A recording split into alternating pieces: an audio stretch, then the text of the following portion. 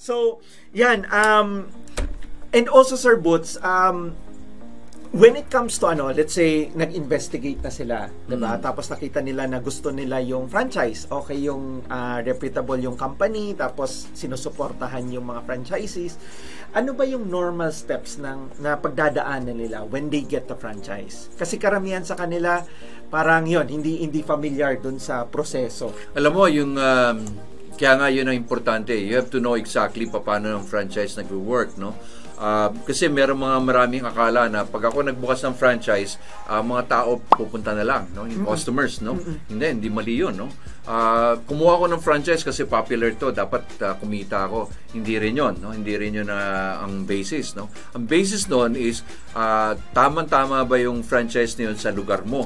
Doon sa target market mo. Kasi baka mamaya high-end yung kinuha mo, eh low-end naman yung Yeah. area mo, Yeah. no? Ah, masa, no? So baka yung pricing. Ah, sometimes I, I notice, no, yung mga ibang pagkakamali ng mga franchisee, gustong-gusto lang nila. Hindi nila tinitignan yung pulso ng bayan. Ano ba yung kaya ng bayan ah, bilhin? Yung bang, eh gusto ko ito eh, basta gusto ko ito. So nilagay sa isang lugar, and all sudden, di na-realize nila, out of place pala Hindi sila, pala. no? Ah. So you have to find out, no? You have to do your market study. Kaya nga ang ginawa ko nung araw ay parati kong sinasabi, do your market study. Ano ba yung simple lang naman yon? Sino ba yung mga mga ano ba yung mga money magnets diyan? Ano ba yung mga institution? Nandiyan ba yung mga eskwela? Ano ba yung population? Ano yung income nila, no? So, eto, tsaka do your traffic count. Alam mo kasi minsan tinatamad tayo mag-traffic count. Let's say nandito ka sa lugar na ito. Halimbawa, hindi pa nga tinatayo, magbilang ka ilan ang taong dumadaan, Dumadaan. ilan ang coaching dumadaan, ano bang anong anong habit ng lugar na ito. Kasi it pays off eh. You have to Yes. know your your your place. Ah, meron ako diyang ah, tinulungan nung araw. Ah, nagagalit nga sa akin nung araw yung ano, yung tinulungan kong kumuha ng franchise, no? Kasi executive siya ng isang bangko. At sabi ko, "Ma'am, gusto niya ng laundry." No? So sabi ko, you have to count the number of people passing. Sabi niya, eh wala pa naman yung place eh. Paano ko ka-count? Sabi ko, eh ma'am, you really have to do it. Kasi if you don't know it, eh baka ma- malugi kayo. So sabi niya, oh sige, gagawin ko. Nandun sa kotse niya, nagbibilang siya from 7 in the morning to 9 in the evening. Ha? For two weeks. Ah, Okay? So, inikot niya rin yung lugar niya kung sino-sino yung mga barangay captain, sino-sino yung mga competitor niya, yung mga laundry. Alam mo, na-realize niya, tama ka pala, Bots. Kasi na-realize ko, yung mga competitor ka na may laundry, sabi nila, laundry raw, yung pala laundry di kamay. Okay? Yung iba naman, naka, naka-aircon, bubuksan lang ng aircon kung may customer.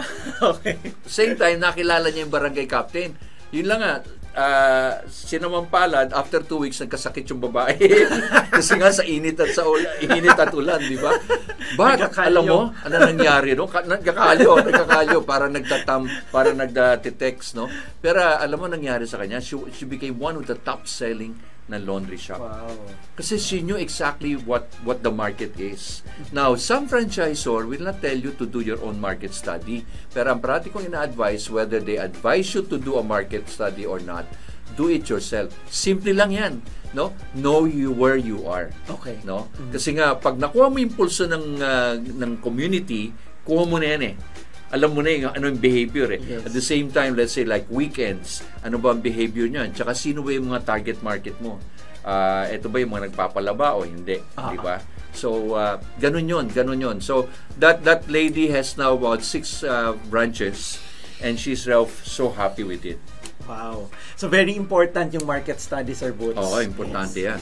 Thank you so much again for watching. And if you like this video, please press the like button below. And also subscribe to our channel so you won't miss any of our very helpful future videos. Thanks again for watching.